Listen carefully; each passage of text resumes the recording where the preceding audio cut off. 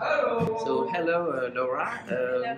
fir- First, can you present yourself? Tell, you, tell us who you are and uh, what do you do? Um, I'm Laura, I live in Paris, and uh, I am a curator, a publisher, and, uh, and an artist. And I publish a fanzine called The New Spirit of Vandalism.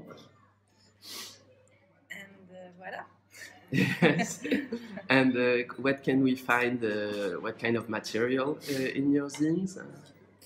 Um, my zine is uh, made with uh, more or less seven sections. So we found uh, music, poetry, um, a conversation, a curatorial uh, text, and uh, a work uh, about art, an edit work about artists. hmm And uh, and it's mostly uh, photography and graffiti based. Um, it, it's come from uh, graffiti because Mhm. I always invite an artist for make the cover, and after he have a, uh, he, have a participation in one section. Mhm.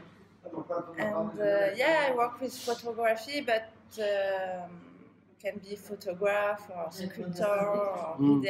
or Mm. It's all kind of uh, of uh, art. Mhm. but it's a show with uh, photography because I, I put photography, I stick photography in my zine like that. Voilà. Great. So you can see.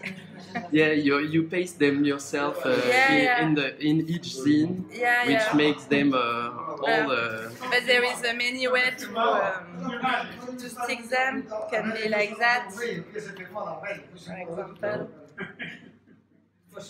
great. or just. Yeah, uh, sometimes the, the text is covered by the, the Yeah, photographs, and you have to to pull them to, to read the text. Yeah. I have one very difficult question for you, Laura.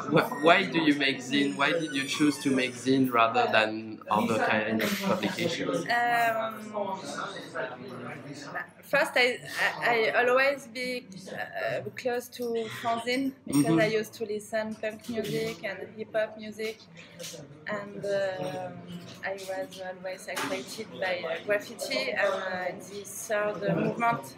There is a culture of uh, zine, and um, after I, I met two important persons in my life who was uh, Cary Loren from Destroy All Monster and after uh, Pat McCarthy and Boss make uh, Zine.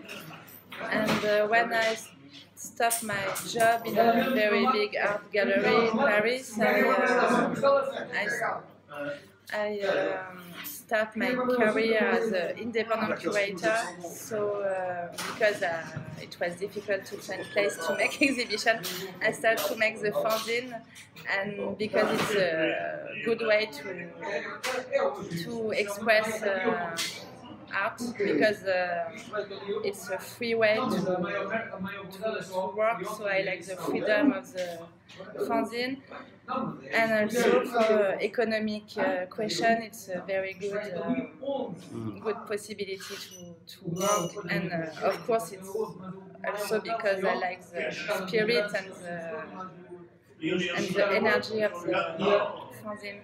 Perfect. Thank you very much, Laura.